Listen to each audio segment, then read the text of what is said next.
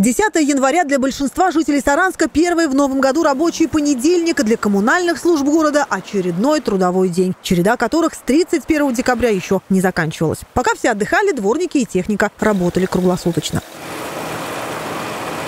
Водитель снегоуборочного КАМАЗа Сергей Паршин шесть раз в новогодние праздники выходил работать. Говорит, такими силами, что есть в арсенале коммунальных служб Саранска, убрать город быстро и качественно невозможно. Например, его машина разбрасывает реагенты. Объем бункера около 5 кубов. Этого хватает примерно на 3 километра дороги. В городе не больше 20 таких же машин. Мы не успеваем полностью, вот если забрать вот эту дорогу полностью, мы не забираем ее. А пока разворачиваемся, едем, ее опять раскидывают, нам приходится опять по одному и тому же месту ехать.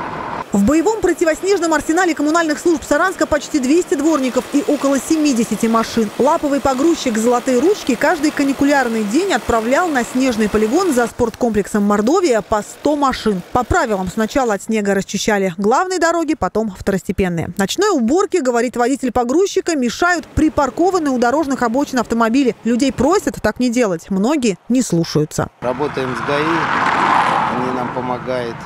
Ну, просьбу ко всем жителям, чтобы с пониманием к нам относились, к нашему труду, к нашей работе.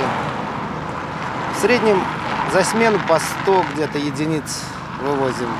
Ну, это вот с 7 до 7. Ну, за сутки 200 машин. Та же самая проблема с машинами во дворах, рассказывает мастер пятого домоуправления. Водители не хотят переставлять свой транспорт, у каждого свои причины. Они говорят, вот стоит моя машина, вот вокруг и убирайте. Наставили и забыли. Даже иногда не то, что механизировано, даже вручную невозможно убрать около этих машин, так как машины дорогостоящие, а дворники боятся. Чтобы тщательно очистить территорию возле одного многоквартирного дома, бригаде дворников и одному трактору нужно около трех часов работы. Домов на участке пятого домоуправления 39. Так что от последствий новогодних снегопадов здесь, да и в других районах города будут исправляться еще долго. А на подходе уже следующий циклон с обильными осадками.